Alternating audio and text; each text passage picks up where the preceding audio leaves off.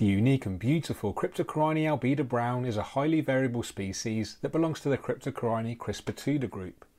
It originates from southern Myanmar and Thailand, found growing underwater in rivers and on river banks, with sand and small pebble substrates.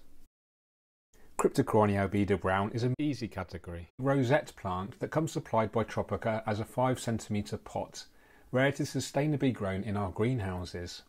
It's characterised by its relatively small and narrow brown leaves, with its attractive coloration becoming more pronounced under stronger lighting conditions. Like most crypts, it's a relatively slow growing species and will tolerate low lighting levels. CO2 injection isn't essential but recommended in order to achieve the healthiest and most vibrant growth.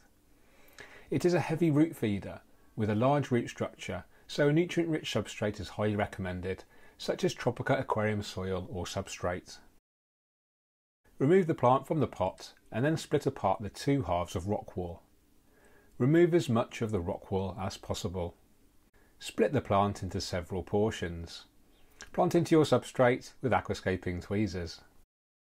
Cryptocoryne albida brown makes an ideal foreground plant for most sizes of an aquarium growing up to 15 centimetres tall, although it could grow potentially too large for a nano aquarium foreground. It looks great planted in groups to create an attractive contrast with adjacent green leaf plants, or planted as a single specimen to add an accent. The brown colour can become more vibrant red with stronger lighting, so consider this when positioning the plant. Cryptocoryne albida brown is a relatively slow grower, so maintenance levels are very low. In the early stages, you may experience the well-known crypt melt phenomenon as it adapts to its new underwater life from its emerged state. Simply remove the affected leaves and new growth will occur soon after, providing your aquarium conditions are appropriate. It does best in a nutrient-rich substrate, but will also grow well in sand or gravel if Tropica nutrition capsules are added to near the roots.